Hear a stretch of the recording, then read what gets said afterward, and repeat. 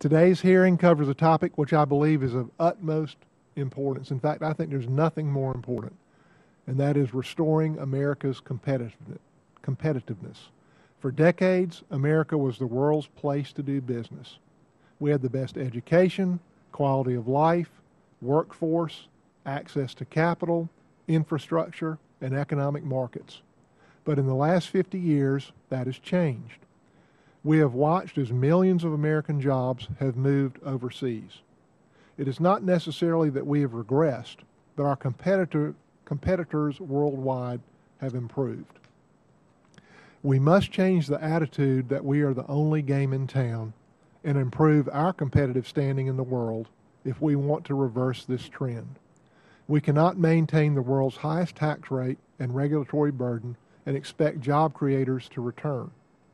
A nation's competitiveness is primarily based on its firm's ability to compete across global markets, while at the same time raising the standard of living for all citizens. I was sent to Washington to work on solutions that will boost our economy and create jobs for all Americans, and restoring our competitiveness is necessary for achieving both. To ensure competitiveness, America's broad economic policy must focus on helping businesses increase long-term productivity. This means promoting policies that give our firms the ability to be the best in the world, such as reducing onerous regulations. Fortunately, this afternoon, we have Dr. Michael Porter, who has extensively studied this issue of competitiveness and has eight broad policy changes he believes will allow our nation to experience substantial economic growth. It is important to note the impact of these policies will have on small firms. For example, as a tax attorney, I know the challenges faced by small businesses in trying to figure out the nation's complex tax code.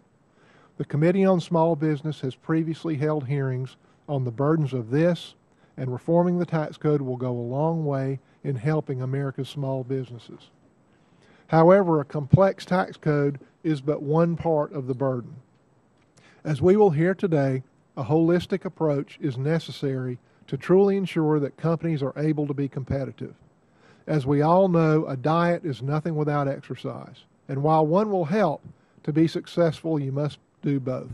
Competitiveness is the same way.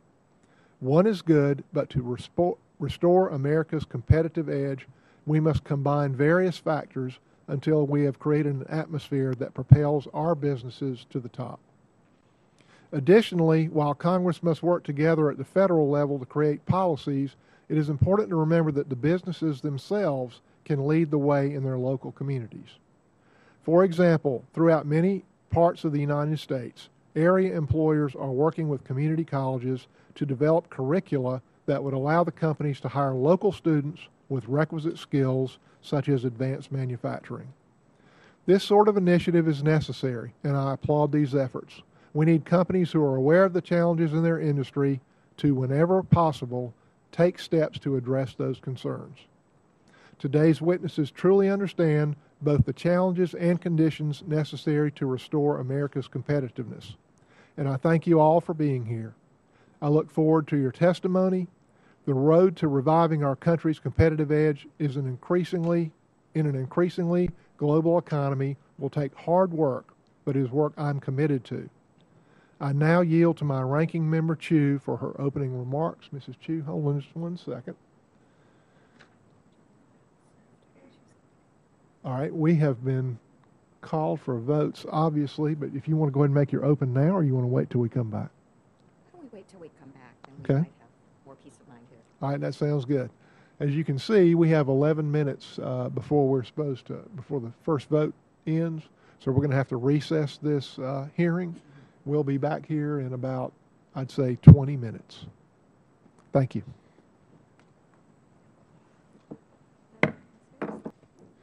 We'll call the meeting back to order. I was walking back over with Congressman Mulvaney, and he was so disappointed he missed my opening statement. He wanted me to do it again. But I said, no, I'm going to decline. so at this time, I'll yield to Ranking Member Chu to give her opening statement. Well, thank you so much, Mr. Chair. Uh, good morning. Oh, well, actually, it's good afternoon now. uh, today's hearing will provide insights into U.S. competitiveness and what we as policymakers need to do to keep America one step ahead of this rapidly changing world.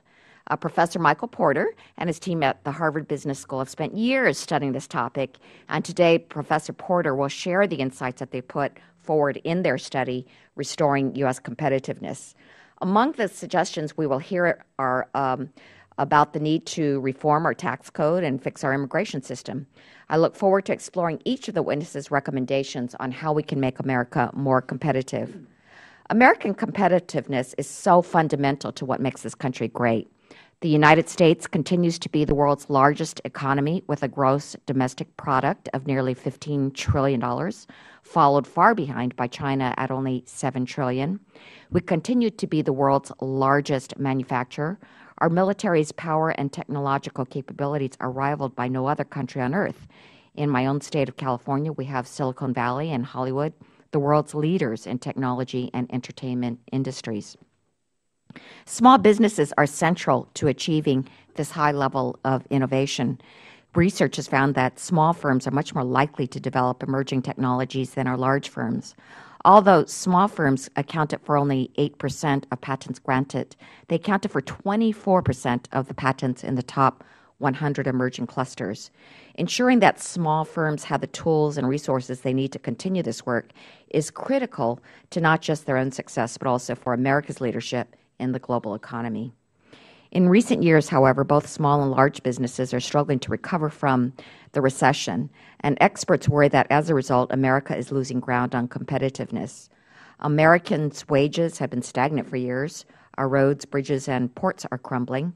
Our immigration system is broken. And scholars and experts worry that the U.S. is falling behind on manufacturing, education, infrastructure, and innovation.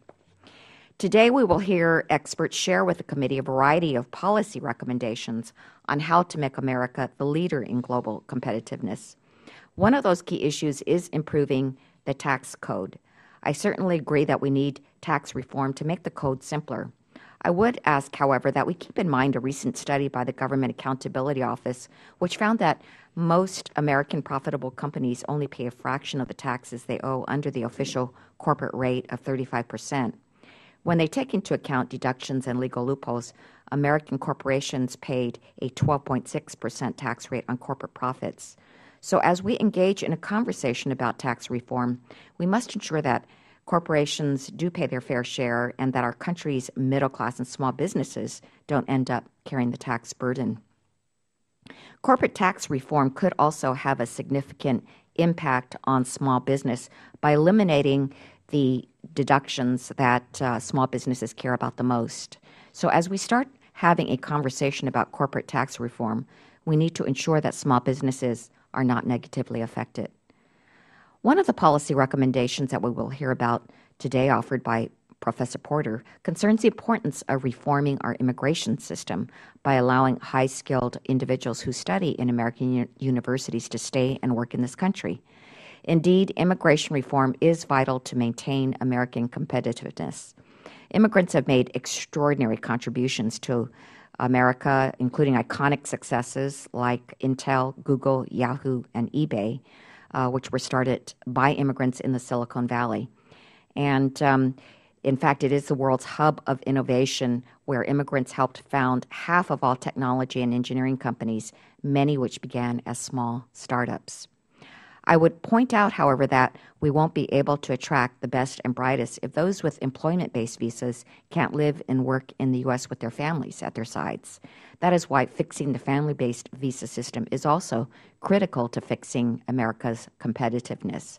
In fact, immigrants are twice as likely to start a business as native-borns, and there are many who have come to the U.S. through the family visa system. Comprehensive immigration reform is a key issue in Congress right now, and it is my hope that we will be able to reach a bipartisan agreement that will put us back on track to restoring America's competitiveness. With this in mind, I am looking forward to hearing to today's hearing, which will provide insights into what our country needs to do to remain the most competitive nation in the world. Thank you, Chairman Rice, for convening this hearing, and I yield back. Uh, thank you, Ranking Member Chu. Uh,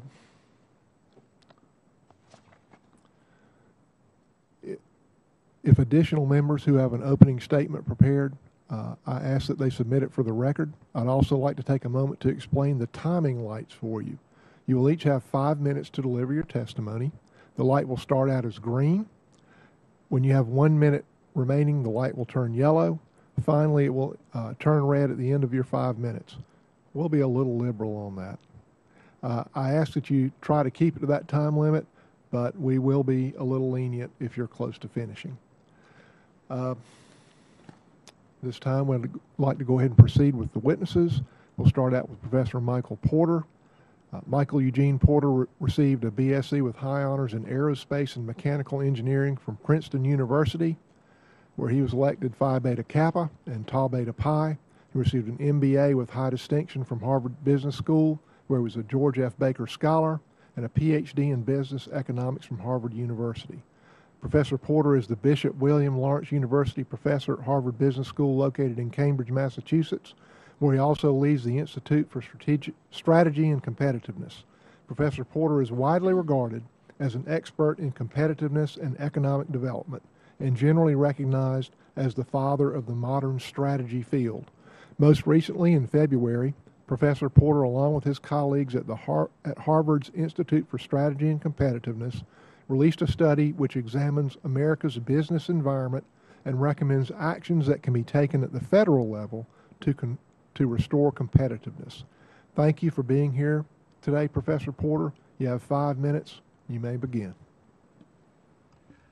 Well, thank you so much, uh, Mr. Rice and other members of the committee and, and, and visitors for attending today. And we're, we're here to, about, uh, to talk about a topic that is anything but a soundbite. Uh, this is a complex topic, and I think, uh, I think when we approach this question of competitiveness, we have to approach it with, with the understanding that, uh, that there's a lot of moving pieces here. And uh, when we think about it, we have to think rigorously and we have to think strategically. Um, we can't think that competitiveness can be solved by one magic bullet, one simple solution will solve this problem. It, this is a problem that's been building for many, many years, and it will take us a, really a strategic focus to, to address it. I'd like to just make five basic points in my opening statement, which we can explore in more detail uh, as the uh, hearing proceeds. Uh, first point uh, is what do we mean by competitiveness? And, and we talk about competitiveness. Competitiveness uh, occurs when businesses based in a location like the United States can meet the test of international competition while improving the standard of living of the average citizen. Uh, competitiveness is not just about businesses being competitive, it is also about uh, the average worker doing well. We have to do those things together if we are going to be truly competitive. If, if, if businesses succeed by cutting wages and uh, laying off people, that is not success. That is not being competitive. That is a sign that we are not competitive. That is a sign that we can't sustain uh, and, and grow the prosperity of, of the average citizen. Um, so much of the debate about competitiveness is really uh, clouded and confused by a lack of understanding of this basic truth. Republicans tend to focus on businesses doing well. Democrats tend to focus on the average worker doing well. But of course, competitiveness is when we can do those things together.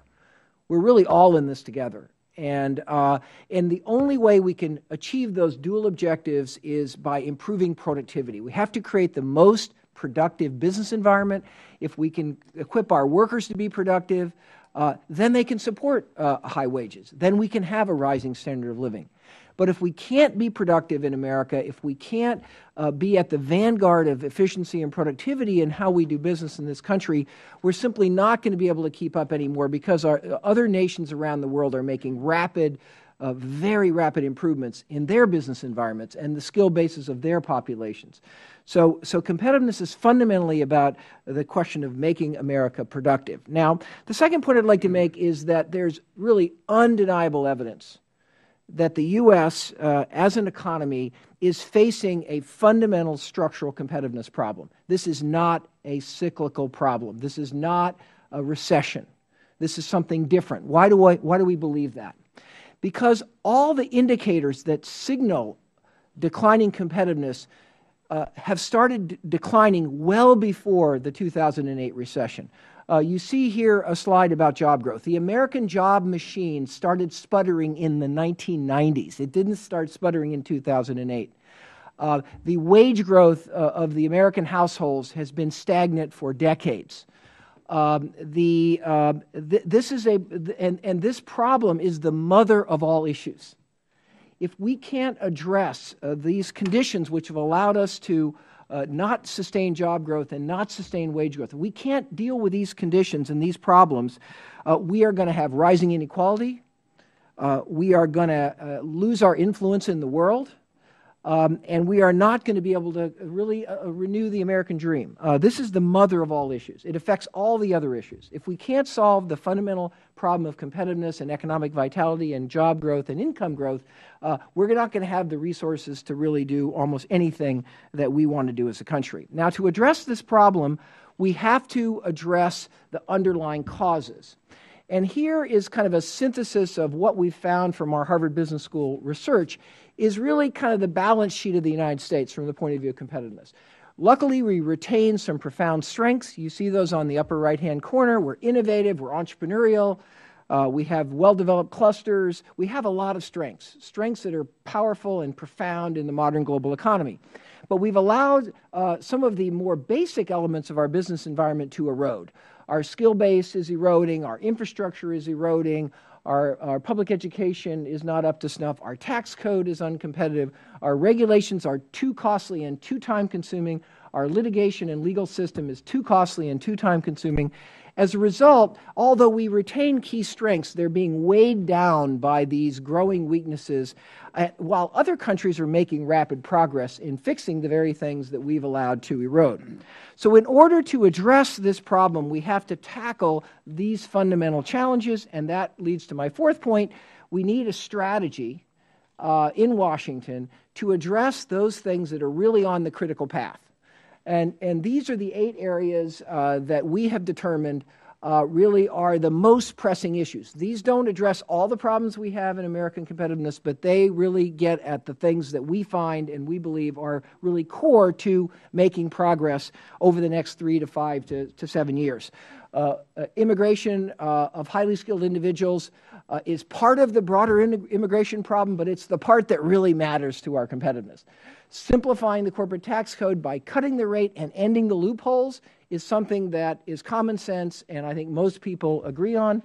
Um, more controversial is our international taxation system, which is is locking lots of money outside of the uh, outside of the U.S. Uh, and and is, is is unique in the world uh, and is it, it is it is not supporting really the growth of our of our businesses. Uh, uh, the trading system is, uh, there's many weaknesses in the trading system that is working against the U.S. economy. We have to lead the reform of that system. Um, improving infrastructure, simplifying regulation, being, getting, uh, getting on with the great opportunity we have in shale gas and our energy reserves, and then finally creating a sustainable budget. None of these things probably sound even remotely surprising to any of you. This is pure, unadulterated common sense. Uh, but these are the areas which we found if we could make some headway on these areas, not seek perfection, not seek everything everybody wants, but just move ahead on these areas, it will have a transformational impact on business confidence, on business investment, and, uh, and we'll start building momentum in this economy again. Uh, so uh, let me conclude there, uh, and, and of course we can have a fulsome discussion of this complex topic over, over the coming uh, balance of the hearing. Thank you, Mr. Chairman. Thank you, Professor Porter. I now yield to Representative Hanna to introduce Mr. McConaughey. Thank you. I'd like to report that I'm not just pleased to represent you here, but uh, pleased to be a customer, uh, and my wife. Uh, today I'm honored uh, to be here to introduce Jim McConaughey, the Chief Financial Officer of Chobani, which is headquartered within my district in Norwich, New York.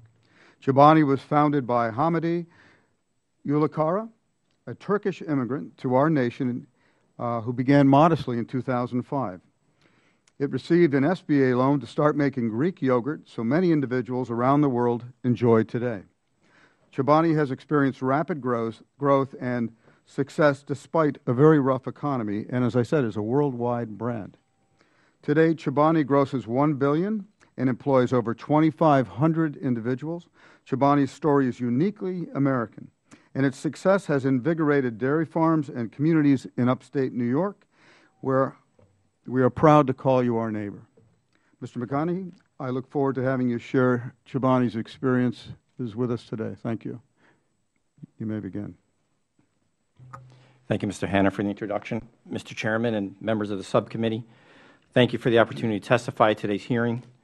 Uh, as Congressman Hanna said, I'm Jim McConaughey, the Chief Financial Officer of Chobani. The Chobani story is one that could only happen in America.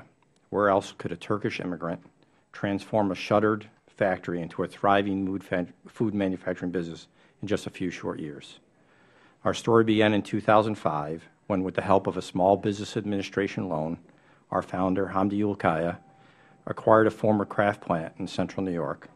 Two years later, the first cups of Chobani rolled off the line, and today, Chobani is the number one selling brand of Greek yogurt in the country. In less than six years, we've grown our business from nothing to over a billion dollars in revenue. We've expanded our reach around the globe. We've invested more than $700 million between our original manufacturing facility in New York and our new plant in Twin Falls, Idaho. We're no longer a startup with five employees, but a global organization with a workforce some 2,600 strong. Is the American dream come to life, proving that if you truly believe in something and work hard, anything is possible. Of course, with opportunities there are challenges for the future of Chobani. Chobani's success is strongly burdened by the current federal regulatory and legal environment. The four most prominent challenges I will touch on today are the lack of an FDA standard of identity for Greek yogurt, geographic indicators in international trade, trade in dairy products with Canada, and tax reform. First, Chobani strongly supports the establishment of a standard of identity for Greek yogurt. The Food and Drug Administration establishes standards of identity for various food products. Um, I'm sorry, for various food products to reduce consumer confusion. Unfortunately, the current FDA standards of identity for yogurt are extremely outdated and do not take into account current manufacturing processes. The definition does not reflect the composition and the processes used to manufacture Greek yogurt, which is very different from traditional yogurt. The lack of a proper standard of identity for true, Greek yogurt literally allows any product that meets one of the current FDA standard definitions of yogurt to be branded as Greek yogurt regardless of the composition or the processes used to manufacture it. USDA's Child Nutrition Program routinely follows FDA standards of identity for products used in their programs. The lack of a standard of identity for true Greek yogurt makes it difficult for consumers and the USDA to differentiate between yogurt and Greek yogurt for purposes of nutrition programs, including the proper allowances for meat and meat alternatives in the Child Nutrition Program crediting. FDA and Congress must recognize and address this blatant inequity in order for the rapidly emerging market for Greek yogurt to meet its potential without misleading consumers towards a product that is not true. An update to the 30-year-old standard is clearly in order. Second, we have seen an increase in challenges of the labeling of common food products abroad. We recently embarked on a costly and difficult process in England and Wales after it was incorrectly, in our opinion, ruled that the term Greek on our true Greek yogurt misled consumers into presuming that it was from Greece. The EU position puts common food names at great risk. If this problem is not dealt with soon, the EU's aggressive actions to monopolize common food names such as bologna, feta, and provolone will damage sales of many popular food products around the globe. Arguing that a small group of EU producers should have an exclusive right to use such name is like claiming that only Italians should be able to use the term pizza. Protectionism is protectionism, no matter how you couch it. On the third point, Chobani recently engaged in an extensive process to bring our products to Canada. This process included researching the ability to import yogurt into Canada from the United States and to explore making yogurt in Canada for Canadian consumers. In the case of importing yogurt, we found this to be essentially impossible as there is a 237.5 percent duty at the border for all imports into Canada. This is despite the quote-unquote open borders promulgated by NAFTA. As an alternative, we attempted to buy land and build a manufacturing facility in Canada. When this plan became visible to our competitors, they launched a series of actions directly against various Canadian government agencies and the local Chobani entity to stall our Canadian plans. Despite the fact that we and the Canadian government prevailed in court, all of the previous market barriers continue to exist. Accordingly, we recommend that Congress and the Administration use the TPP umbrella to look at the closed borders for dairy with Canada. Last, we understand there are many discussions surrounding tax reform in the halls of government. We wholly support this effort to eliminate inconsistencies in the taxation of different types of U.S. entities and to have a globally competitive tax system. We at Chobani thank you for your support of a fair and competitive business environment. Thank you, Mr. McConaughey. Next, I want to introduce uh, Mr. Smythe McKissick. Since 1988, Mr. McKissick has served as the president and CEO of Alice Manufacturing Company in Easley, South Carolina. For 90 years, four generations of the McKissick family have led Alice Manufacturing Company. Alice is widely recognized today as a modern and successful textile company, as well as an important part of the upstate community. Mr. McKissick also serves as a life trustee of Clemson University. He has previously served as the chairman of the South Carolina Manufacturers Alliance, chairman of the National Council of Textile Organizations, co-chair of the American Manufacturing Trade Action Coalition, and is an independent director of People's Bank Corp, Inc. He is a graduate of Clemson University, has an MBA from the University of South Carolina, which is his redeeming factor. He is he and his wife Martha reside in Greenville and have three children. Mr. McKissick, welcome.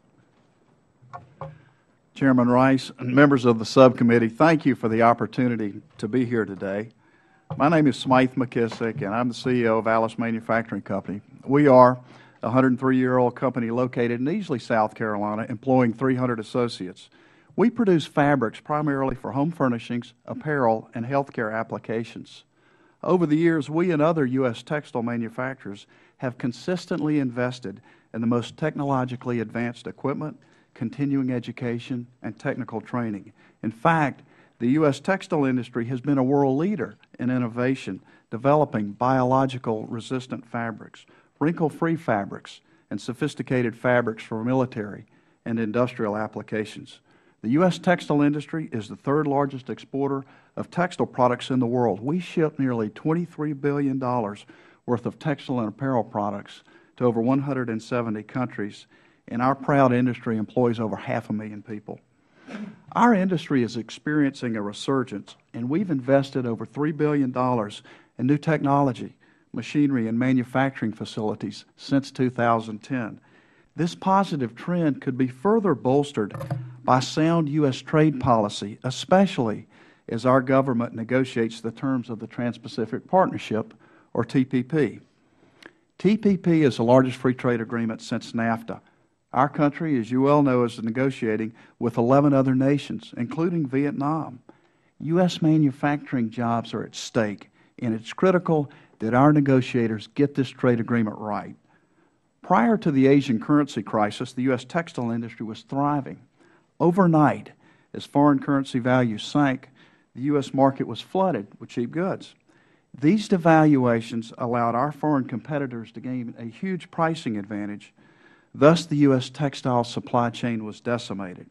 Our industry was cut in half, and thousands upon thousands of U.S. textile jobs were lost in the process. At Alice Manufacturing Company, we realized we had to quickly establish a new business model in order to survive.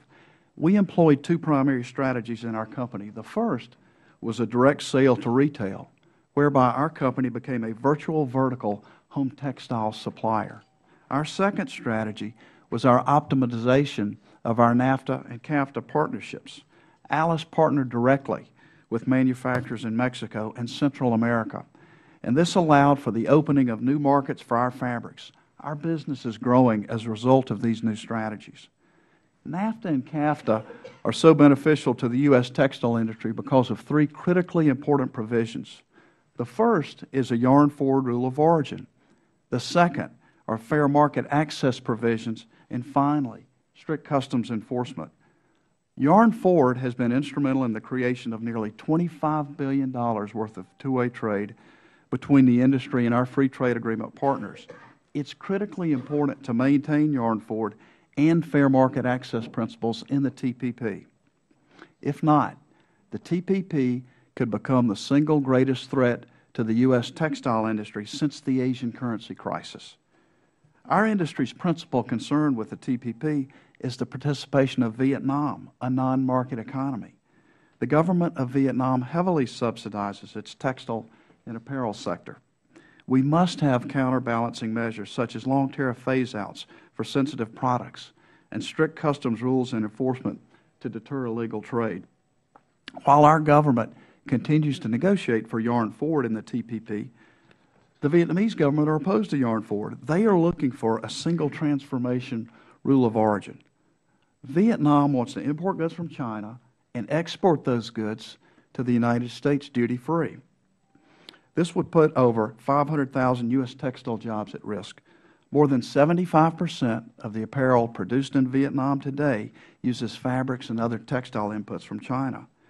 The total projected job loss in the U.S. after 10 years of a single transformation rule is over 530,000. The total projected job loss in the Western Hemisphere is 2 million.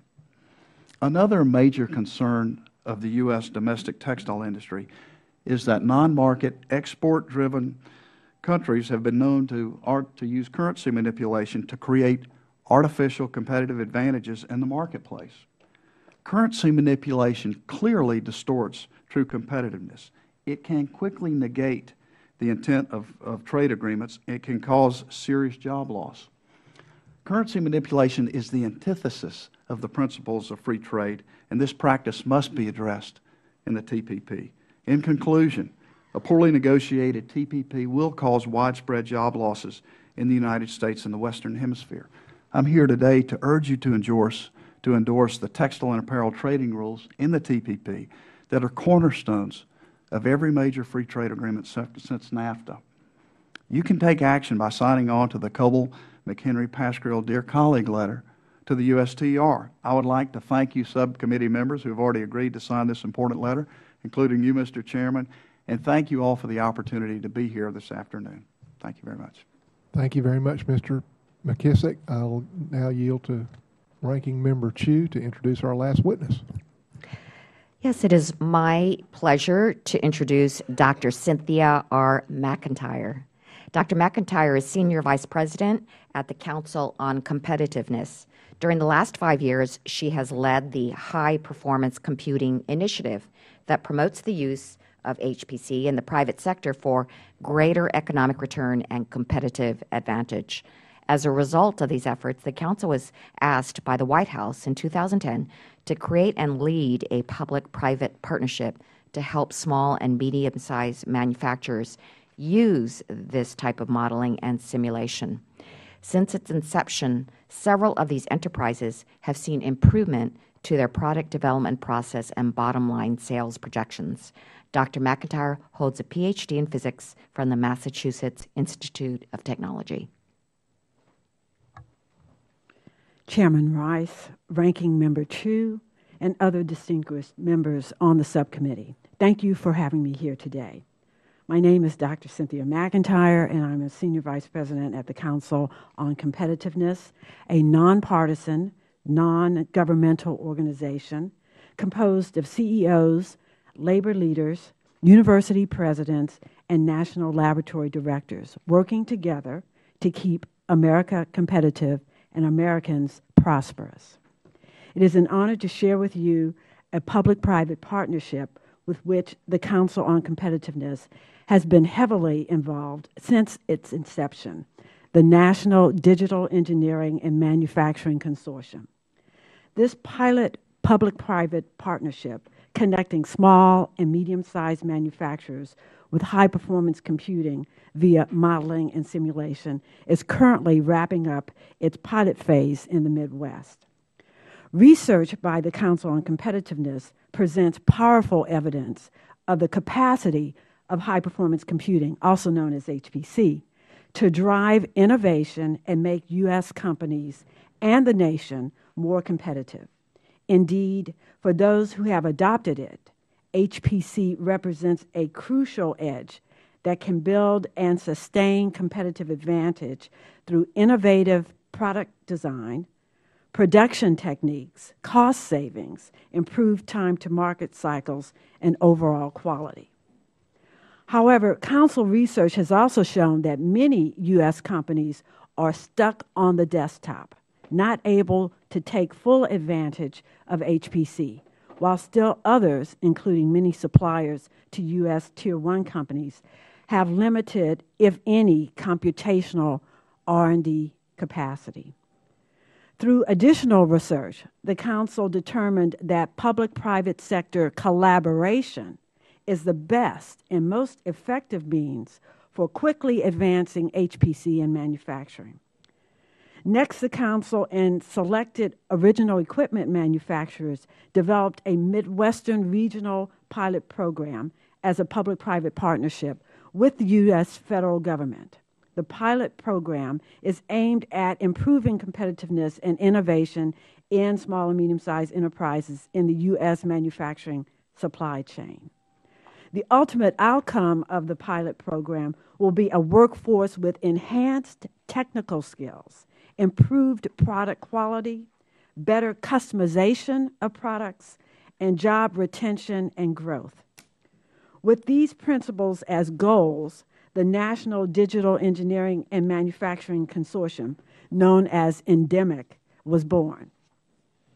ENDEMIC brokers and promotes collaborative relationships that will sustain the growth of American manufacturing through job creations, creation and enhanced competitiveness.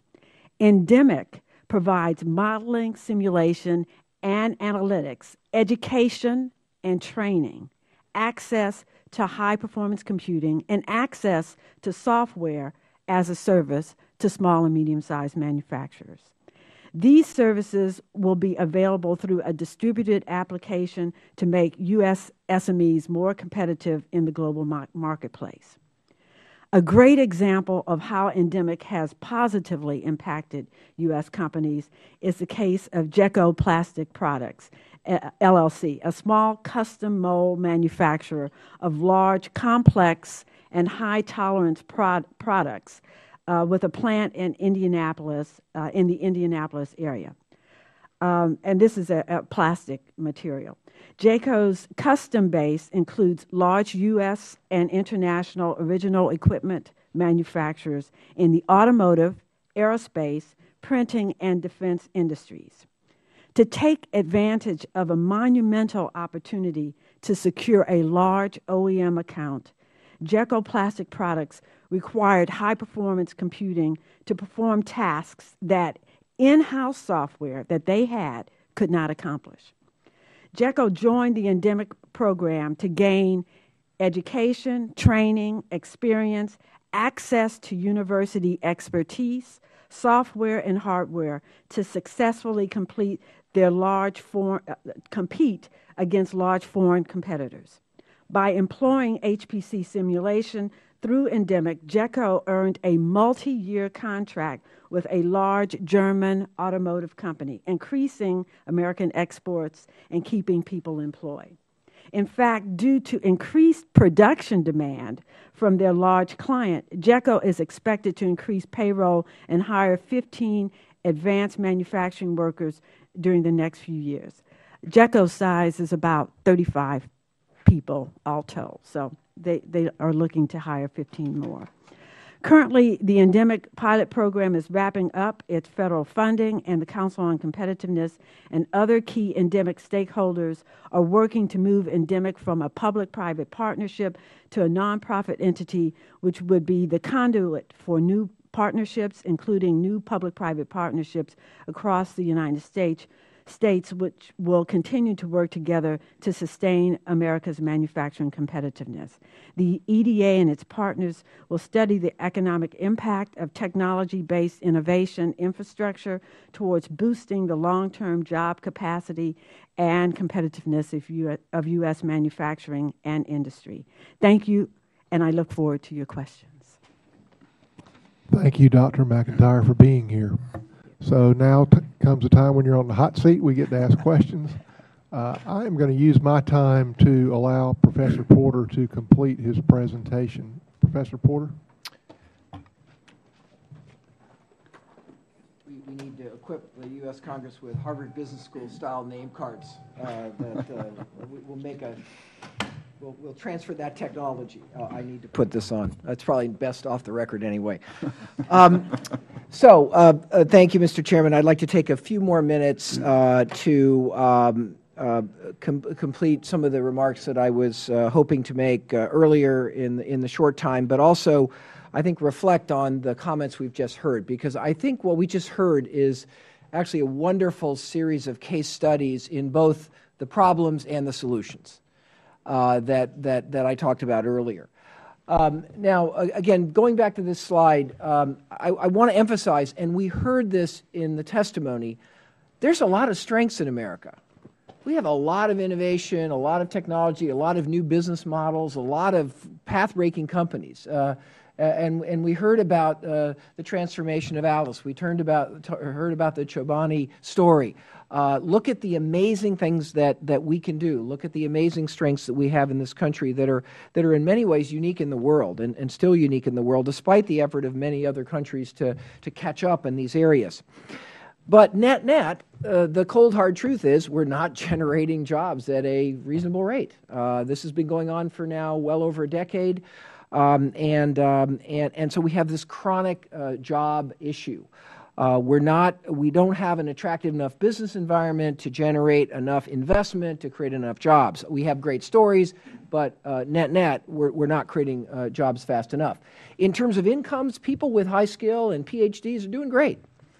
That's not the real problem. The problem is really the middle. It's, it's that great middle, the people without unique skills, without a PhD.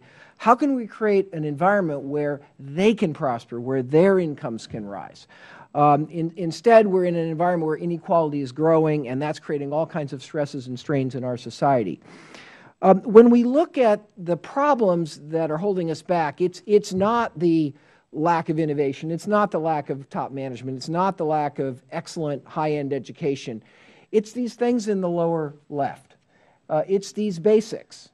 It's having an efficient, simple, responsive regulatory system. You know, listen to uh, Mr. McConaughey's commentary about the FDA and getting, getting a, a, a regulation updated after 30 years to deal with the changes in the marketplace. You know, look at the, the cost of that.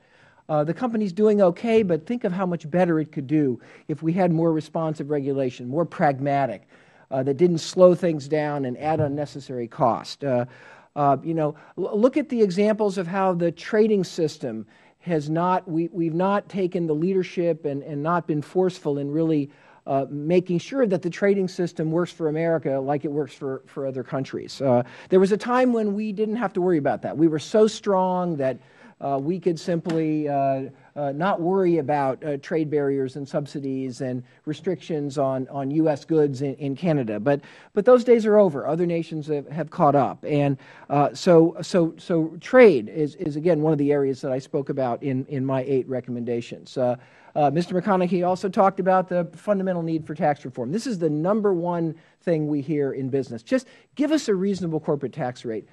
We'll give up on the loopholes. We're ready to do that deal. But right now, we can't have the highest corporate tax rate in the OECD and expect uh, to be able to invest and, and renew our, our, activities in America. Again, another one of, our, one of our eight recommendations. The weaknesses that we see in that lower left-hand corner actually have a disproportionate negative impact on small business big businesses can deal with this stuff. You know, they have the legal departments, they have the tax uh, minimization departments, they mm-hmm. they have multinational operations where they can kind of mitigate the effect of the uh, un unproductive American business environment. But small businesses who are basically in America, they're they're the most affected. We can't help small businesses by passing new subsidies for small businesses to try to offset the fundamental weaknesses in the business environment. You know, that's a loser's game. We've been, we've been trying to do that, uh, but it's not working. We, we have to fix the basic circumstances in our business environment that are leading to the anemic job growth, the lack of income growth, and, and the lack of economic growth in our economy. Um, now, who, who, who needs to take action here? Well, I think what we found through our Harvard Business School project is all the stakeholders need to act. there's a lot that business can do. Uh, you heard uh, Dr. McIntyre's description of a very innovative public private partnership where businesses are actually playing a major role in, in really improving skills and improving technology and seeding other small companies. So business can do a lot, and we've been working all across the country to mobilize and, and inform business to take a more forceful role back in America again.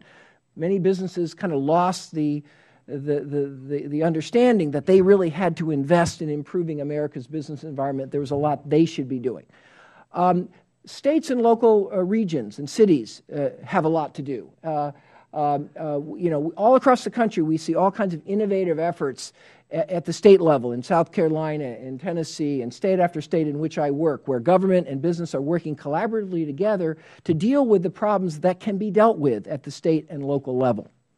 But the real sticking point now, the thing that is fundamentally uh, driving the poor performance of our economy is right here in Washington. This is where we're not making progress. This is the one place in our society where we don't see progress. Um, and where do we need to make that progress?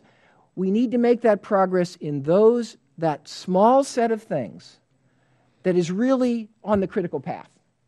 Again, we, we can make our patent system better, but that's not the problem. We got a lot of patents, you know. We could improve our R&D spending. We should, but that's not the critical constraint. There's a lot of things that we can improve, and there's somebody in this town and some interest groups that are arguing that that's the most important issue. But actually, the reality is that the most important issues are the things that are staring at us right on that screen in that lower left hand corner.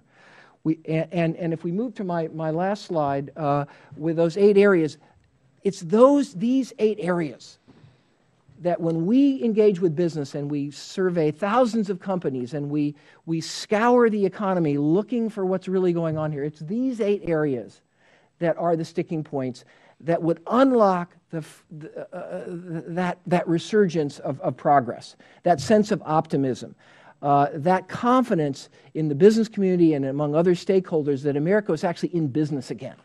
Uh, the high skilled immigration is a pressing constraint. We have thousands of, of jobs that we can't fill today. Uh, that doesn't mean we shouldn't train Americans, but, but we, we need to take some steps today to get on board with what has been a great American strength, which is getting people to come to this country that can really contribute to our economy. The corporate tax code, again, we're not talking about uh, a windfall to corporations. We're talking about just bringing the corporate tax rate down to a reasonable level.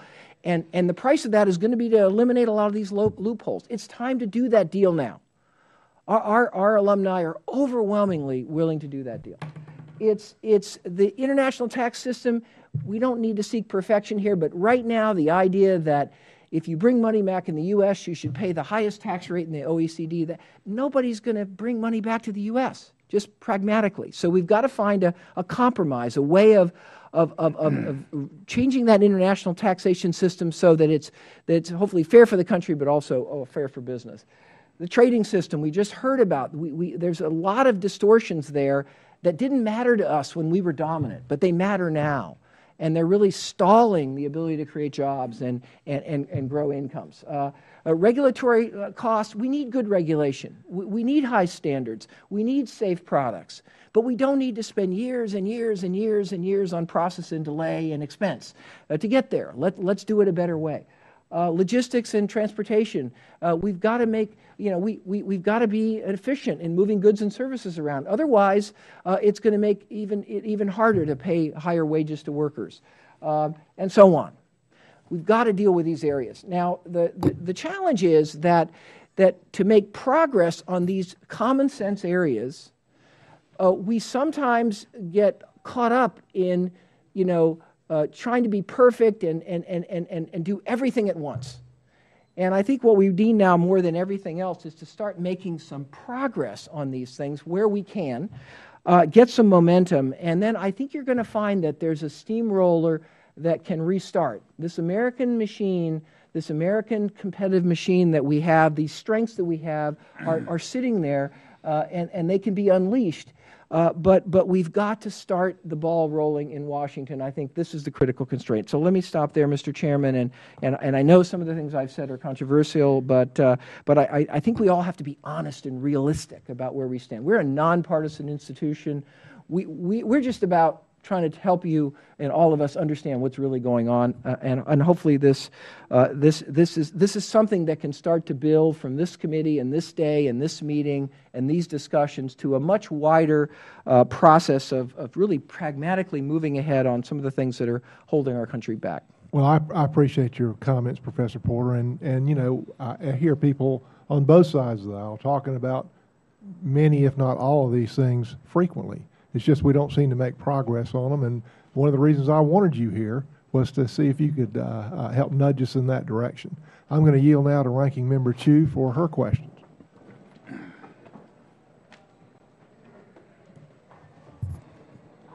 Dr. McIntyre, um, you talked about uh, the endemic uh, system, the National Digital Engineering and Manufacturing Consortium, which was bringing cutting edge technologies such as modeling, simulation, and analytical tools to small and medium sized businesses that would otherwise not have access to them. In introducing these suite of services, what challenges are you facing in getting small companies to adopt these new tools? Do they need specialized personnel? Uh, or do, do, the employees have the capability to use them? And, and also, what are, what are the costs of, of um, these services? Thank you so much for the question. Um, there are challenges that the small and medium sized manufacturers face, uh, even uh, with our assistance, uh, to use these tools. I think the the biggest problem for them is, is not having the in house expertise, oftentimes, to understand how to use the tools, uh, the benefit of the tools even though th these tools can help solve some of the problems that they're facing. Uh, we oftentimes say that if we gave them all of the HPC equipment and all the software that they needed for free, it probably would just sit in, in a closet because there's, there's no um, uh, person there who could actually use those tools. So getting them connected to the right expertise and, and we go to the universities who are trusted uh, uh, sources uh, and, and couple them to the universities so that they can act as educators, trainers, and consultants to help them use the, those tools. So it's a very time intensive uh, process working with them to make sure that they have the expertise that they need. And the cost? And the cost right now is uh, there's no cost to them in the pilot. The, the federal dollars and the OEM dollars cover that cost uh, at this time. We are looking at making it affordable, uh, trying to understand what that price point should be. We've had some of the, the SMEs come back a second and a third time and volunteer to pay. So we are moving towards a, a pay per service. But right now in this pilot, it is uh, a free cost to them, no money out, but they must dedicate uh, human resources in order to do it. Thank you. Uh, Mr. Uh, Carnegie, uh, your story about Chobani yogurt is certainly most impressive. Um, and you mentioned that uh, Mr. Ulukaya, the founder of Chobani Yogurt, used an SBA loan to purchase the commercial real estate that became the first Chobani factory um, the SBA provides capital to companies that are unable to secure conventional financing. Um, what, uh, why, why did uh, the founder choose to obtain an SBA loan over conventional financing? Frankly, I think it was the most cost effective and it was available. Um, you know, he was and is an entrepreneur at heart. He started the business, you know, fundamentally with nothing. And, you know, when you're an entrepreneur, capital is everything you know, to just get started. And um, so the SBA program just was a very cost-effective program. He worked with, uh, you know, his bankers at the time, KeyBank, and they introduced him to the program and, and made it work. Um, you know, there's not a lot of seed capital available for virtually what's a startup, you know, unless you have it yourself. So uh, the SBA program was very helpful. Thank you. Um, Professor Porter, nearly two decades ago, you formulated the Porter hypothesis, which proposed that uh, strong environmental regulations can actually spur efficiency and innovation and lead to improvements in competitiveness. Can you share with this committee your theory and how we can improve competitiveness by having high standards? Well, thank you, uh, uh, Ms. Chu, for that question. The, the, you know, the conventional wisdom about environmental regulation historically has been that, uh, frankly, that environmental regulation inevitably would raise cost because if you had to be cleaner, that would be costly. Um, what we've learned from decades of research is actually that uh, uh, environmental impact is costly. That is, if, if you are dumping materials or, or, or not using resources effectively, you're actually wasting money. And, uh, uh, and the Porter hypothesis was really based on, on, on this insight, which grew out of the early work that I did on competitiveness. I found that, that some of the countries that had the highest environmental performance were actually the most efficient because they used energy better, they used resources better, they used water better, they, uh, they, did, they didn't waste resources, they didn't dump material, they recycled it. And uh, so, so, so that, that was an insight that, that I think was radical, but now it's become widely accepted in the business community. Uh, uh, and so business is now radically transforming the way it does business, the way it runs its supply chains to try to uh, minimize logistical waste and minimize energy use and so forth.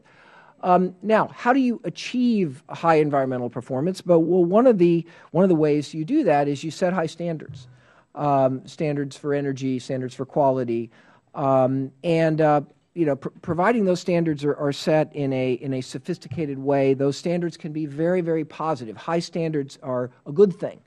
Uh, the countries with high standards usually do well in the affected industries.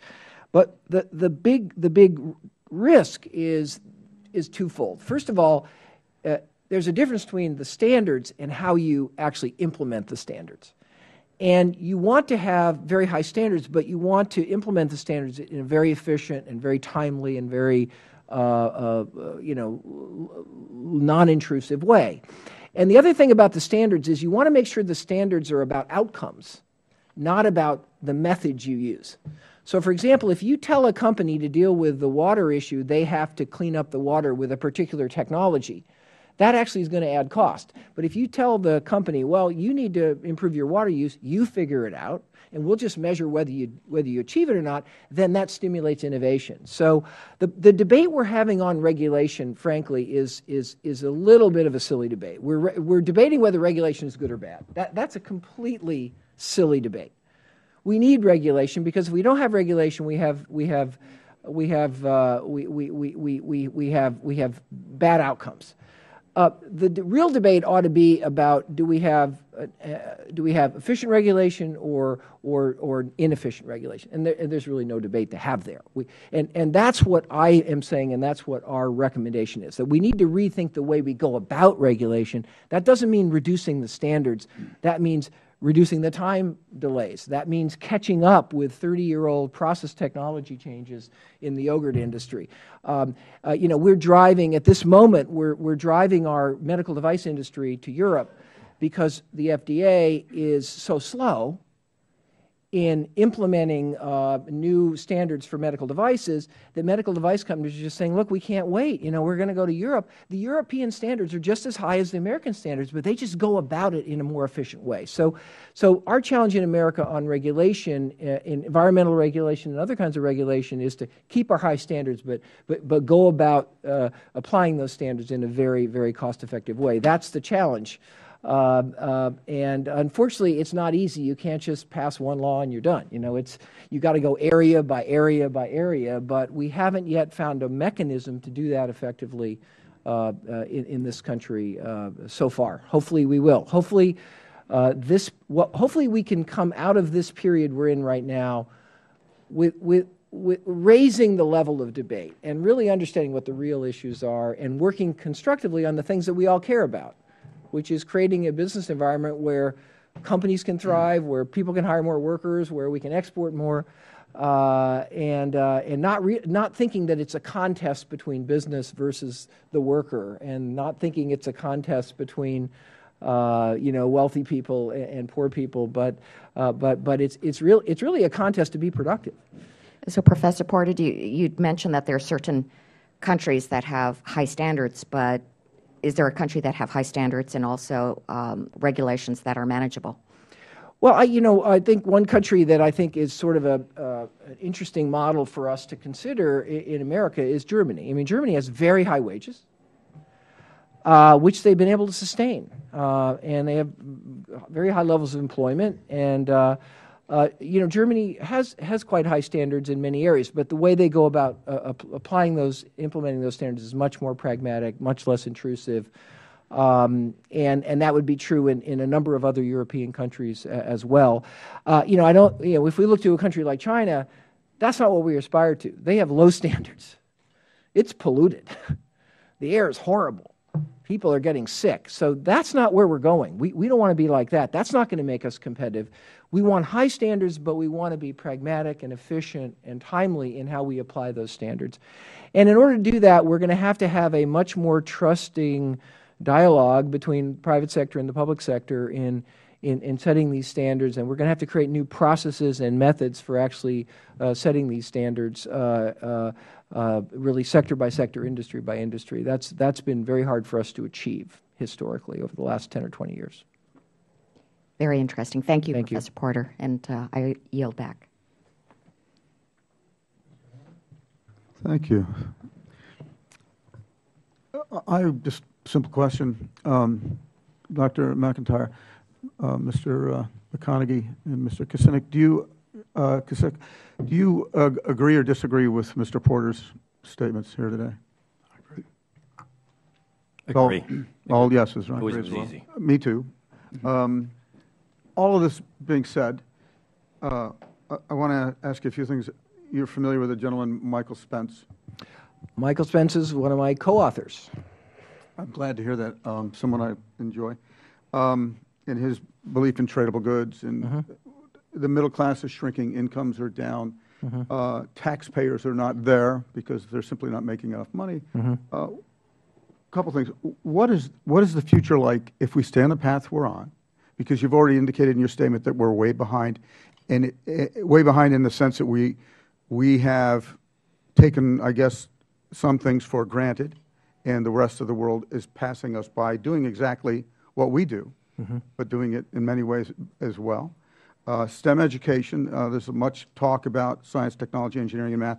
M Mr. Spence has particularly um, uh, written about that a great deal.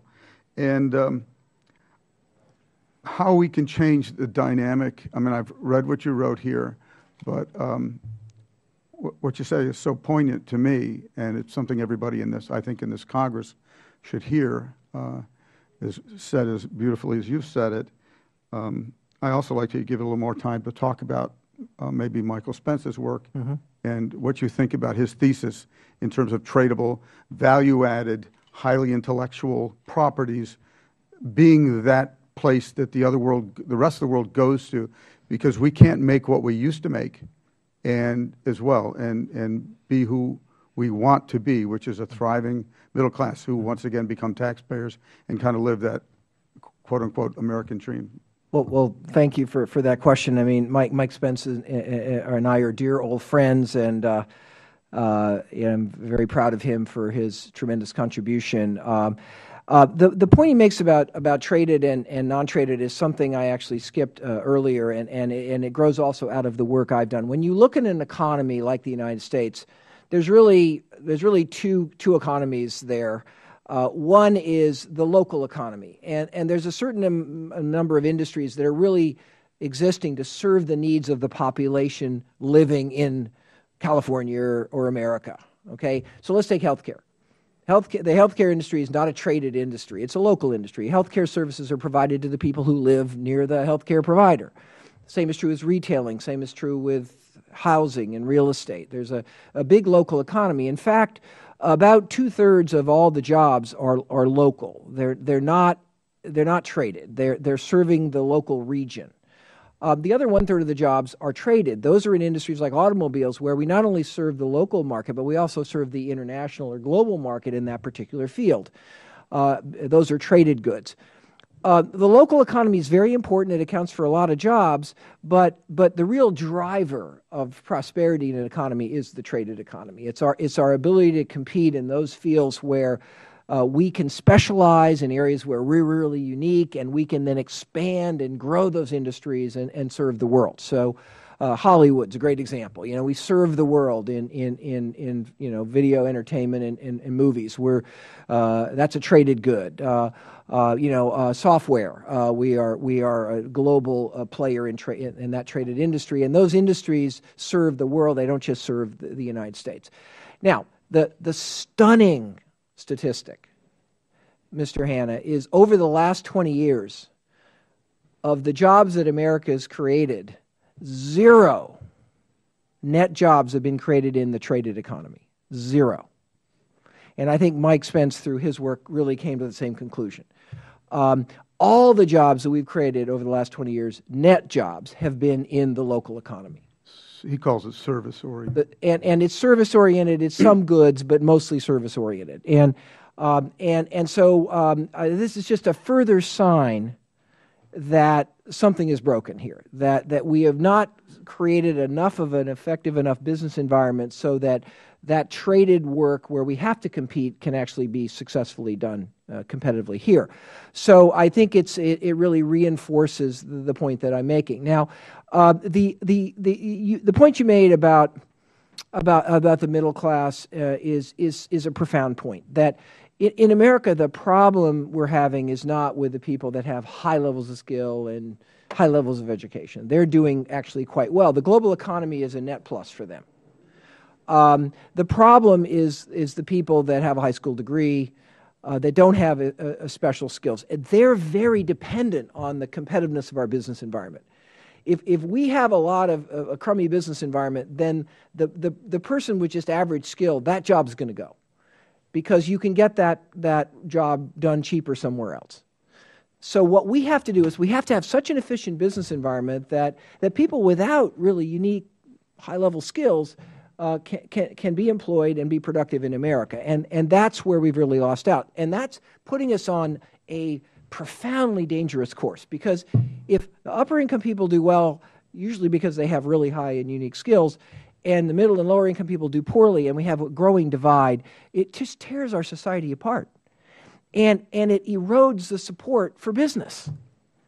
And so it starts leading to policies that really work against business, and then, and then that just makes it worse and worse and worse and worse. So what we've got to do is we've got, we've got to get uh, the, the, the, the, this, this, this flywheel reversed and moving in the other direction. If we can improve our business environment, there'll be more investment here. Uh, not only will the high skilled people do well, but the middle middle skilled people. You know, Apple, you know, was a brilliant, innovative company, but they made nothing in America. So we didn't get all the benefits of that innovation because we were not, we didn't have a competitive enough business environment so that they could make anything in America cost effectively. But what if we had a better business environment? Then we'd not only get Apple's brilliance and innovation and patents, but we would also get a lot of manufacturing opportunities that, that were spun off of those innovative companies. So th this is kind of the fix that we're in. Um, the, the good news is that the really, really hard stuff, the hardest thing that we have to fix is K through 12 or you know public education. Finally, after decades of work, I think there's some bright signs there. We're working on that. The reason we didn't put it on our list is because it's really not fundamentally a federal issue. But but but these other areas, these eight areas, we can fix those areas. They're, they're not rocket science, and there's a lot of common ground. And the question is, how do we get enough weight and energy behind this to actually get it done? Thank you. Thank you. Uh, Mr. Payne. Thank you, Mr. Chairman. Uh, this has uh, really been a uh, extraordinary panel in terms of their uh, testimony. And um, you know that when two or three of your questions have been asked before, answered before you ask them. So uh, I'd like to thank you for that. but Mr. Porter, um, you know, in your um, submitted presentation, you also identified the need to responsibly develop the American shale gas and oil reserves. Um, with the similar environmental concerns as oil drilling, do you agree that the fracking should undergo the same amount of regulation or at least improve regulations such as measuring and reporting air pollution and min minimizing uh, water use and improving well casing and cementing? Uh, Mr. Payne, thank you for that question. Uh, I, everybody needs to know that the great windfall that we've got in America is the shale, oil and gas. Uh, it, it's transformational. It, it's going to allow us to, to do things in America with a competitive advantage that we could have never dreamed of before. It's, it's going to allow us to, over time, diminish our need to import uh, oil, which has been a massive part of our negative trade balance for, for decades. So, so it's a windfall. It doesn't come easily because there are legitimate environmental issues that have to be addressed. Um, that said, there's rapid improvements in technology. And if we put in place the right kind of regulatory framework that requires reporting and inventory and and, and, and best practices in terms of technology and utilization of water and aquifers and so forth, you know, I, I am confident from everything I know and from all we've studied that we can develop this resource in, in a very responsible way that will adequately protect our environment. Uh, again, if we approach the regulatory process pragmatically and with common sense, without emotion, without, without uh, extreme, you know, positions. Um, um, and uh, you know, uh, I, I, I know uh, a number of the companies in the field, and, and, and for example, Baker Hughes is one of our great American uh, oil field service companies. They've come up with breakthrough technologies to minimize water use, to reduce the risk of some of the environmental impacts. So, so the innovation machine in, in, in America is working, but, but we, need a, we need an overall a, a, regulatory framework here. I'm confident we can put one in place, but, but, but yet we don't have one now, and that's created a lot of uncertainty about whether this resource can be developed, how it can be developed, whether we should export gas or not. And, and right now we're kind of stuck in that terrible situation where we've got a great asset, but we're really we're not moving forward in, in, in putting it into production. No, thank you. And to the rest of the panel, um, uh, each one of you, if you could um, just um, address um, the um, impact um, that the education system has had on uh, your sectors, and do you have recommendations to address the negative impacts? Thank you for that question. Um, as far as uh, science and engineering education in the U.S., we certainly uh, have excellent universities and are doing quite well there. The pipeline for students going into science and engineering is a concern. Uh, that we, in fact, are able to produce the number of, of, engineers and scientists that we need in order for the innovation uh, stream to come forward, uh, you know, uh, at this point. For, for high performance computing, it's a real challenge. The expertise that I talked about um, not having for small and medium sized manufacturers. There's, there aren't a lot of people migrating towards um, education that would help them to um, learn how to use high, uh, high performance computing. Mm. So we need um, uh, a way of getting younger people to understand the benefits of using this type of computing technology and the education that should undergird the use of that technology. But uh, there are universities now looking at how can we do this, how can we educate the professionals now to use this, these tools.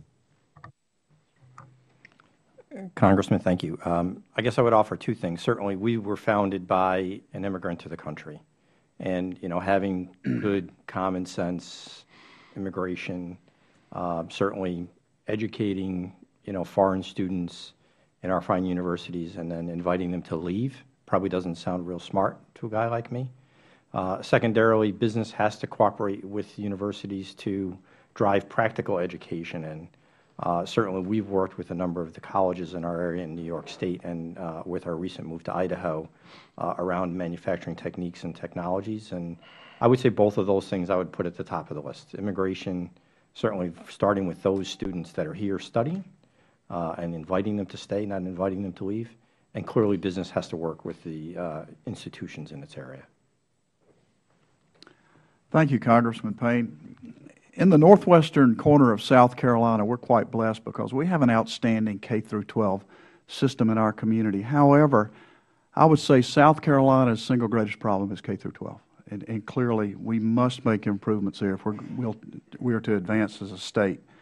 Regarding technical training, South Carolina is incredibly blessed to have an outstanding technical education system. And frankly, when Senator Ernest F. Hollings was the governor of South Carolina in the early 60s, uh, he led an effort to, to really drive great investment in technical training, and it has been growing and thriving and changing with industry needs and changing as our, our economic dynamics have changed ever since. So, so, so that's uh, quite a positive for us. Higher ed in South Carolina is terrific, especially uh, in the region that I live.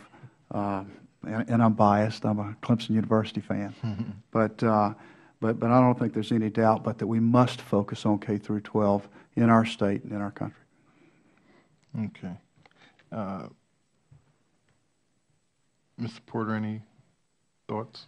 Well, uh, I, I, think the panel has made excellent contributions, and I, I have little to add. I'd, I'd, add a few a few points. Uh, I, I, think at the university level, um, the U.S. historically had more university graduates as a percentage of the workforce than any other country. Today, we're way back in the pack. So I think uh, we still have a higher education issue, and the issue there is more accessibility and affordability, uh, and also the issue of getting people into the STEM pipeline. Uh, as Dr. McIntyre was talking about. Uh, there's some excellent efforts in that area. We can do better. The, the, the, the, the, there's a critical need in the, in the, in the, in the middle skill area. Uh, lots of promising uh, efforts, including South Carolina. The K through 12 problem is, uh, is, is, is, is a profound problem, and, and that's probably the subject for a whole other discussion. Okay. Uh, but Harvard Business School is working with the Gates Foundation and Boston Consulting Group to do kind of a comprehensive assessment of what we've learned about improving K through education. There's a lot of success stories, and uh, we, we, we, we will we'd love to share that work Thank with you. you as it rolls out. Thank you, Mr. Chairman. I yield back.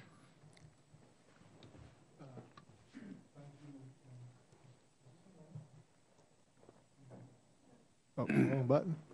Excuse me. Uh, I, am going to ask one more question, which is going to open it up to another round if anybody else does. But uh, this is the most important thing to me, as far as I'm concerned. Our, our, American competitiveness and jobs is the most important thing. If we can get make progress on this front, if we can get it resolved, I think it solves a lot of other problems. Uh, Mr. McKissick, I want to ask you. Uh, could you put that slide back up? the slide that was up earlier about the quadrants. Mr. McKissick, you, do you know what your effective tax rate is at your company? Uh, yes, it's ours is in the uh, the high thirty percent range. Mm -hmm. Now, you had mentioned earlier that uh, uh I'm a I'm an ex lawyer by trade, and they say never ask a question if you know the answer. But I don't know the answer to this. So I'm treading on dangerous ground here. Uh, you said earlier that you worked with partnerships with people in Mexico to do part of your manufacturing. Did was the effect of that to get a lower tax rate in Mexico at any point, or? No, it it was more about partnering with with companies that had state of the art technology and a desire to be best in class. Right. And it was also to create a new outlet for our fabrics. And in Mexico, unlike most NAFTA models, most NAFTA models are such that you do a, a level of production in Mexico and it comes back to the U.S. market. Not in our case. In our case, our fabrics stay in Mexico. Mm -hmm. We spin yarns, we weave fabrics. Those fabrics are finished in Mexico, cut and sewn in Mexico. Outstanding designs are applied to those fabrics, and they've got an incredible distribution system that goes to the Mexican consumer. So, to me, it, it is uh, a wonderful example, example of how NAFTA should work. All right, let me ask you this you're in the high 30s tax rate here in the United States. Ireland's 13. Would you be more competitive at a 13% tax rate worldwide? Absolutely. Well, absolutely. Mm -hmm. And, you know, if you ask, okay, well, what do you do with the money? Well, it goes right back in the plants. It allows you to, I mean, that's seed capital. If you're a private company, we are, that's seed capital to grow your business. So, so there's absolutely no question but that you can buy new technologies. You can get better in everything you do. If, if we can't get our ports dug out, for all of our environmental regulations that take so long to work through. And as a result of that, you pay 10% more in transportation costs than our, your competitors worldwide. Are you more or less competitive as a result of that? There is no doubt that Charleston Harbor is a competitive advantage to every manufacturer in South Carolina.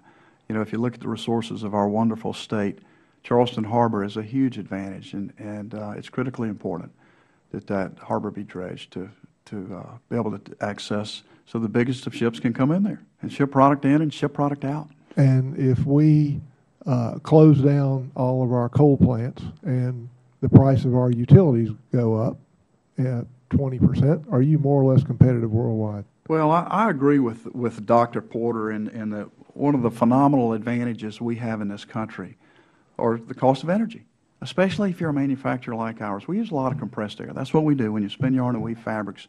Use a lot of compressed air. We've got such a leg up on our foreign competitors in our utility costs. We've got one of the best utilities, I think, on the planet that services our area, Duke Energy. They're, they're fa fantastic. But if we don't understand uh, the criti criticality, the critical importance, they, the role that they play in our economy, we're going to hurt ourselves. They are laying the golden egg, and, and I think we've got to protect that, and we've got to leverage our, uh, uh, our energy resources. Mr. McConaughey, I'm going to ask you the same questions. Okay. You know your effective tax rate? I do know our effective tax rate. What is it? Um, our effective tax rate is very low, um, basically because of the significant investments that our founder has chosen to make in factories where the bonus depreciation has, you know, knocked a lot of, you know, income off our books in the short term. Um, but over the long term, it's just a timing question for us. Uh, we're actually a sub-S corporation, so I expect our effective federal tax rate will be in the high 30 percent in the very near future. All right, and and you talked about uh, operations in Canada, and I wasn't sure if you continued with that. Did you actually complete the new facility in Canada? We, we didn't complete it because of uh, the barriers that you know we found you know fundamentally in the trade system that protected the Canadian dairy industry. Do you have any other operations offshore? Uh, our international headquarters is based in Amsterdam, and we own a business in um, Australia and we're exporting product from the United States to the UK at this time. Do you produce product in Amsterdam? We produce product in Australia only at this time and the U.S. Why is your international headquarters in Amsterdam? Uh, it's the best place to set up an international business. Why? Because of the taxes. Mm -hmm. Okay. Uh, uh, if your if we can't get our ports dug out, if it takes 14 years to get permission to dig out the Miami port, and as a result, transportation costs in the United States are 10 to 20 percent higher than other places in the world, does that hurt or help your competitiveness worldwide? I think it's pretty straightforward. It hurts, right? Um, you know, for us, uh, you know, we know that you know cost is an, is an important factor. Most of our product actually, you know, comes from the U.S. Obviously, with um, you know dairy being our number one input.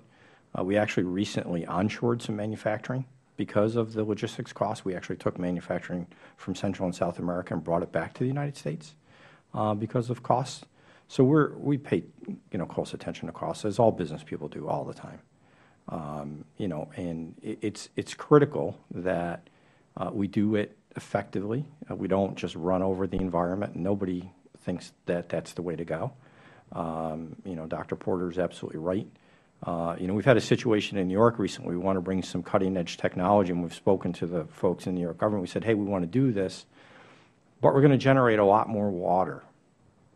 It's very clean, but it's above the quantities. And they said, hey, we can help with that so long as it's clean.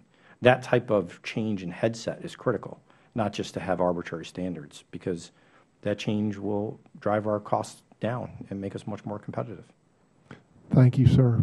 Mr. Porter, I just want to say, do you have anything to add to that?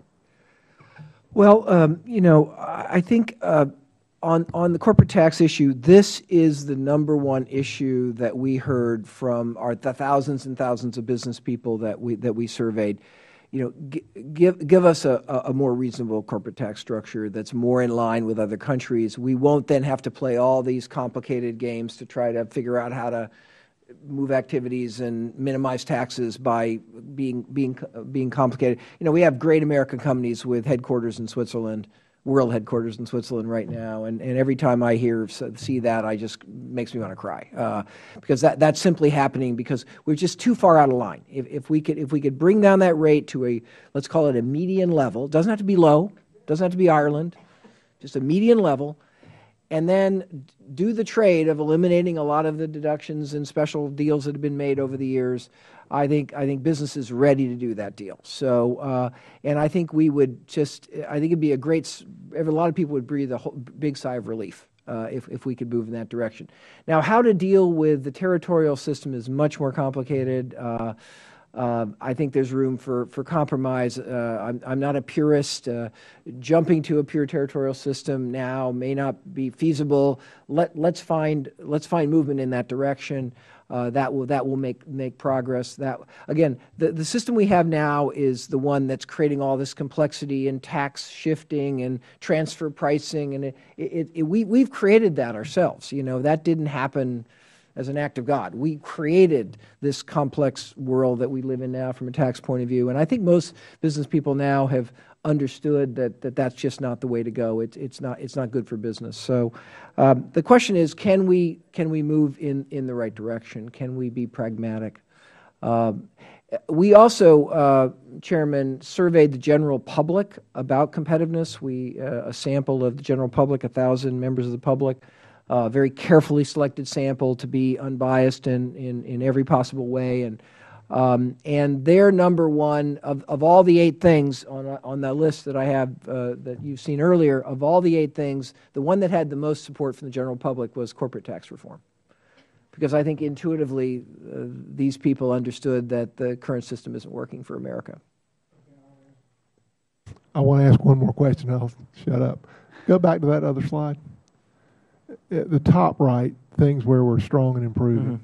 Mm-hmm. Uh, universities, entrepreneurship, firm management, property rights, clusters, innovation, capital markets. Most all those things are in the realm of the private sector. Not all, but almost every one of them, right? A lot of Those are the things we're doing great at. Mm-hmm. Bottom left, things we're not doing well. Oh, first, tell me where this section of quadrants came from. How did you derive this? Well, uh, this, this quadrant came from, we've done two large-scale surveys of all Harvard Business School alumni.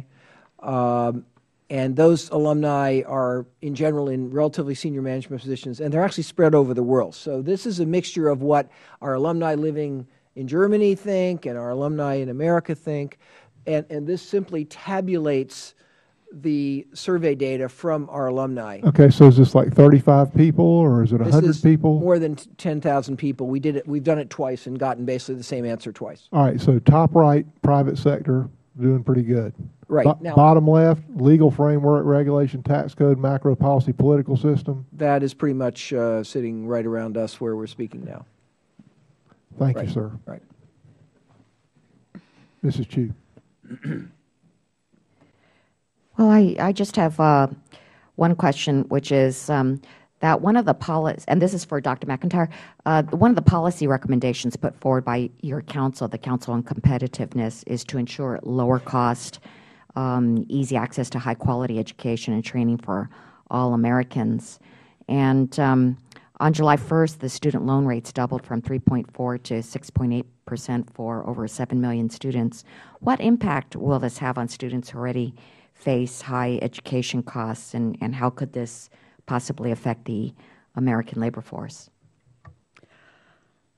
The increase in, in the uh, rate uh, to pay back loans is going to have a, an effect on time to degree uh, completion for students, uh, many of whom have to work uh, in order to um, uh, you know, so sustain themselves. They may not take out as large a loan uh, in order to go to school, and so they'll have to work more. So it could impact uh, time to degree.